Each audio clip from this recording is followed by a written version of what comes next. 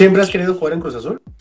Y fíjate que eh, tengo una anécdota que, que, pues bueno, siempre la, no, no la cuento mucho, pero entre la familia nos reímos bastante, porque eh, digo, yo no, yo no, de niño eh, probablemente no era aficionado, aficionado, aficionado a Cruz Azul, siempre me ha gustado el fútbol y yo fui muy aficionado al tiburón, es, la realidad. Entonces, eh, pero yo veía Cruz Azul y algo me gustaba, y cuando yo empecé a jugar en Primera División, llevo tres, cuatro partidos, yo le digo a mi mamá, mamá, el día que yo me vaya, a mí me va a comprar el Cruz Azul. Y mi mamá se quedaba como, ¿será cierto? ¿Será cierto? Y esto y esto. Y justo, mira, termino llegando a Cruz Azul y, y, pues bueno, ahí estamos. ¿Cómo fue ese momento entonces para ti, para decidirte, ¿no? De decir, no, voy a ir a Cruz Azul. ¿Cómo fue que te decidiste? Mira, yo creo que más allá de decirlo yo, eh, fue una decisión en conjunto con mi familia, eh, porque, pues bueno, eh, todas las decisiones que, que yo tomo pues son, son planeadas y son lógicamente muy, muy, muy pensadas y analizadas a nivel no solo personal, sino familiar. Y pues bueno, Cruz Azul para mí significa un reto bastante importante en mi carrera, eh, tanto en la parte mental como en la parte técnica, táctica, porque, porque pues bueno, como bien, bien comentas, es un club grande, es un club que está sometido a una presión bastante importante, pero que eh, ante esa presión y ante esas cosas eh, tienes a a personalidades dentro del club, las cuales te pueden ayudar a crecer y pues para mí por eso, por eso escogí Cruz Azul. No quiere decir que, que en, los demás equipos no, no, iba, no ibas a tener este, eh, personalidades importantes, sino que aquí yo tengo referentes bastante, bastante marcados en, en, en, el área específica que, que, es la portería.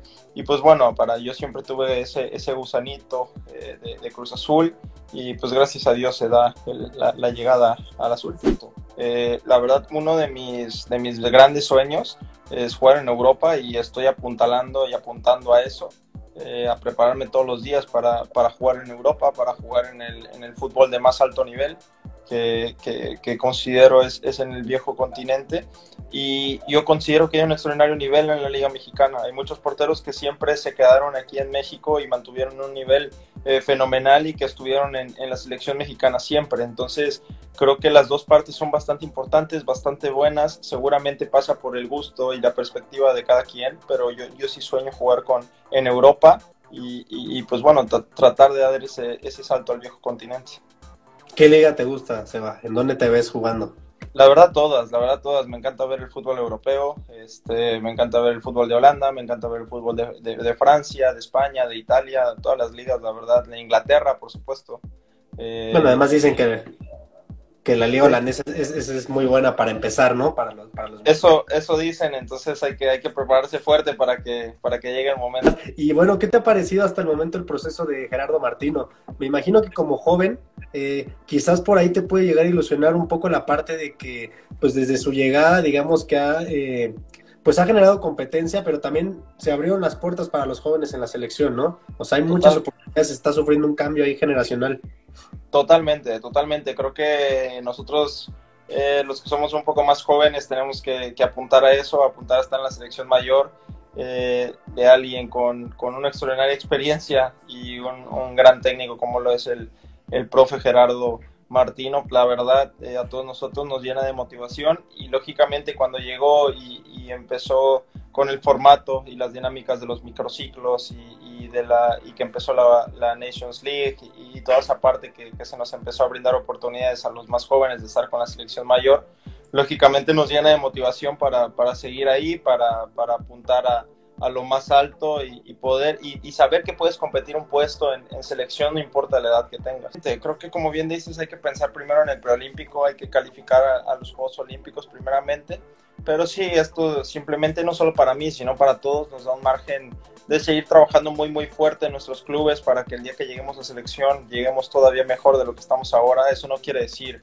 que no, ven, que no veníamos en una buena forma, veníamos creo que en muy buen momento todos, eh, pero pues por algo pasan las cosas también, hay que estar tranquilos, esto simplemente nos exige y nos demanda prepararnos más para, para todo lo que viene.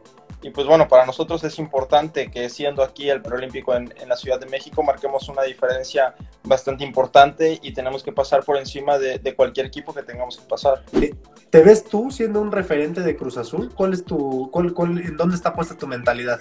Sí, por supuesto, por supuesto. Creo que, pues bueno, como bien dices, eh, si por algo se ha caracterizado Cruz Azul es por tener buenos porteros.